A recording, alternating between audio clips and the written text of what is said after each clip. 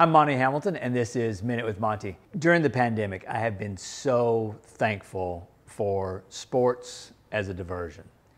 But I also think that we can think about and look at the examples of professional sports and how they return to office and use those lessons as we think about returning to office as well. Now, we all probably can't create our own bubbles and keep our employees in there for months at a time.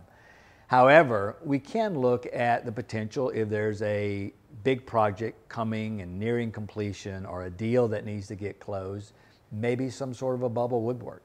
But I think on a grander scale, we can look to Major League Baseball and see how they were willing to throw out many, many, many years of tradition and even rules to rethink how they return to office. So if we can take that same mindset of the old rules may not apply anymore and we need to create new rules of how we return to office, then I think we'll be much more successful as we get back into that new normal for the future.